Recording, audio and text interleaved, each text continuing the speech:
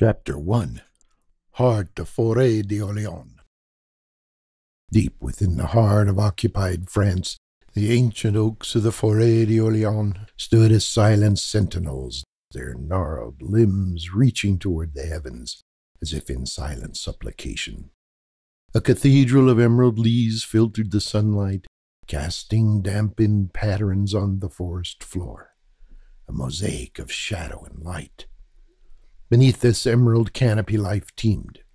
The air was alive with the symphony of the forest, the rustling leaves in the gentle breeze, the trill of unseen birds, the scurrying of small creatures through the undergrowth. The tang of damp earth and pine needles filled the air, a grounding scent that spoke of resilience and survival. Yet this tranquility was a fragile illusion pierced by the distant growl of mechanized beasts, a rumble of Nazi patrols on the roads beyond the forest's edge.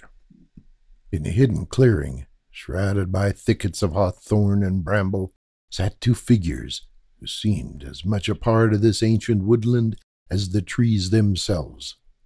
Markus and Charles Lefèvre, brothers in arms and in blood, their faces etched with the lines of hard fought battles and a lifetime of shared experiences. Their bald heads, tanned and weathered, gleamed in the dapple light, mirroring the smooth worn surfaces of the river stones scattered nearby. Their full beards, as gray as a lichen clinging to the oak bark, flowed down their chests, giving them the aspect of wise druids guardians of this hidden sanctuary.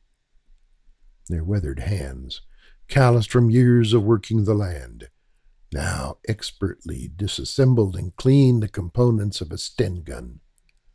Thick rimmed glasses perched precariously on their noses, magnified their eyes, eyes that had witnessed the horrors of war firsthand, yet still held a spark of defiance. The sunlight as it filtered through the leaves, danced across their lenses, momentarily obscuring their gaze before revealing the steely determination within. The bond between the Lefèvre brothers ran deeper than mere fraternity. Born and raised on a modest farm on the outskirts of Orleans, they had been inseparable since childhood. Their shared journey had woven a tapestry of connection that transcended words, a silent understanding forged in the crucible of adversity. When a great war had ravaged Europe, the brothers, barely out of their teens, had answered the call to arms.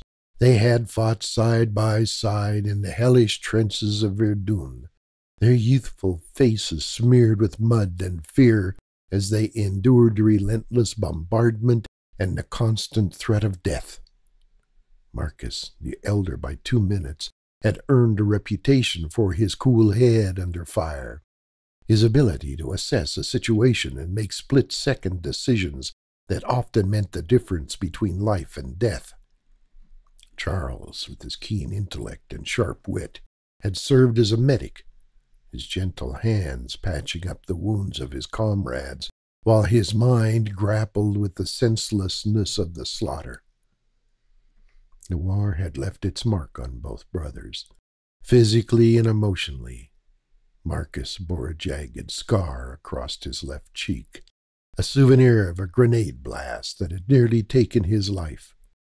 Charles carried the weight of countless lives he had been unable to save, the faces of fallen comrades forever etched in his memory. Yet through it all, their bond had only strengthened, a lifeline in a sea of despair. Returning to their farm after the armistice, they had tried to resume their lives. Markus, ever the pragmatist, had taken over the running of the farm, his hands finding solace in the familiar rhythms of planting and harvesting. Charles, haunted by the ghosts of war, had sought refuge in education, becoming a teacher at the local school, hoping to instill in the next generation the values of peace and understanding. The idyllic interlude of peace had been shattered with the Nazi invasion of France in 1940. The brothers, their fighting spirit rekindled, had joined the nascent resistance movement without hesitation. Markus's intimate knowledge of the Forêt d'Orléans, its hidden paths and secret clearance, had proved invaluable. Charles, with his network of former students, and their families had established lines of communication and supply that etched across the occupied territory. For four long years, they had led a double life farmers by day, resistance fighters by night. Their initial acts of defiance had been small but significant, sabotaging German vehicles, disrupting communication lines, distributing clandestine newspapers that dared to speak the truth. As the war dragged on, their actions had grown bolder, their network expanding, their resolve hardening. As they sat in their forest sanctuary, the weight of their latest mission pressed heavily upon them.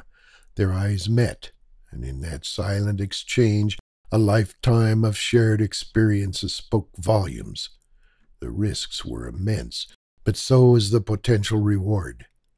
A successful mission could cripple German supply lines, disrupt their communications, and pave the way for the liberation of France. With a shared nod, a silent vow sealed between brothers, they rose, their movements fluid and purposeful. They were ready to face whatever the coming night might bring. Their fate and perhaps the fate of their nation hung in the balance. Hidden away in their forest hideouts, cleaning weapons and studying maps, the weight of their latest mission pressed heavily upon them. The brothers exchanged a glance, a lifetime of unspoken communication passing between them. They knew the risks, but also the necessity of what they were about to attempt. For France, for freedom, and for each other. They would face whatever challenges lay ahead. They all called out, Vive la France!